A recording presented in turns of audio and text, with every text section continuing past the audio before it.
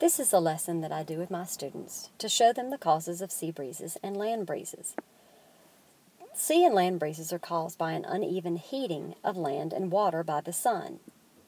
But instead of just telling them that, I would prefer to prove to them the difference between the heating of land and the heating of water. Before we begin experimenting and recording data, I want my students to be able to identify an experiment in which variables are controlled well. So I give them a series of these diagrams that I've cut and pasted. In some of the pictures, the bulbs are of different watts. In other pictures, there is not the same amount of sand and water. And in others, the bulb is a different distance from one container than it is another. So for all of those reasons, an experiment could not be very scientific. My students have to tell me if this setup would be a good experiment, and if not, why not?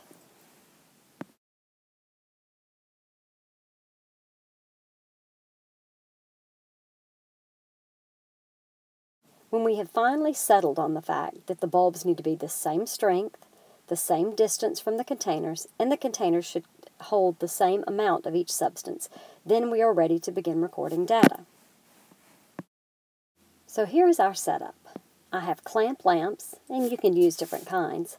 I don't have very good ring stands in my room, so I discovered that I could clip them to the edge of a Rubbermaid container, and that worked pretty well.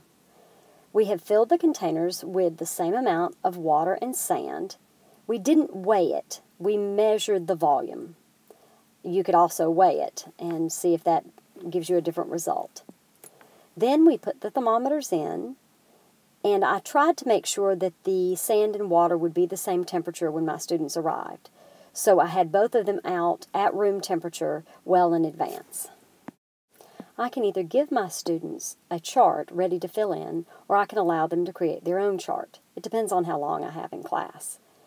So we are going to record the temperature of the sand and the water every two minutes for a period of time. We will turn the bulbs on at the same time, and then every two minutes take a temperature reading for both and record the information and after 10 minutes or so, we turn the bulb off and continue to take the temperatures every two minutes. This is a sample of the data collected by one group. They did not write their minutes over on the side, but this is the only one I can find in my file right now. So, we then go to a website called Create a Graph, which I've used several times for different things. As you can see, you can choose the kind of graph that you want to make and then plug your data in, choosing colors and how many different variables you have. Then it will graph that information for you. As we can see from the graph, land is going to heat quickly and be very warm in the middle of the day and then cool off very quickly. The water, however, takes a lot longer to warm up and a lot longer to cool down. Now we have the scientific basis for understanding sea breeze and land breeze. Once we have determined that the land heats and cools faster than the water, then I can draw diagrams on the board showing that during the day the land heats more quickly. Since the land is warmer, warm air is going to rise over the land, and cool air will blow in from the ocean, creating a sea breeze. At night, since the water takes longer to cool, hot air will rise over the water, and then a breeze will flow from the land out to sea, a land breeze. To help my students review, I made a fill-in-the-blank poster for each table. I have put the important words on bright paper. When they start with at night, that will determine what all of the other blanks will be filled in by. At night, the land is cooler and the ocean is warmer. The warm air rises over the ocean, cooler air over the land, a land breeze blows from land to the ocean.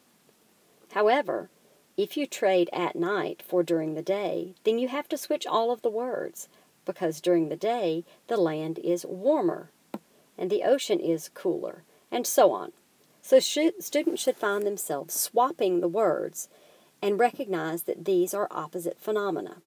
When they have filled in all the blanks, they will find that they have two pieces of paper left over. It will either say sea breeze and during the day, or it will say land breeze and at night.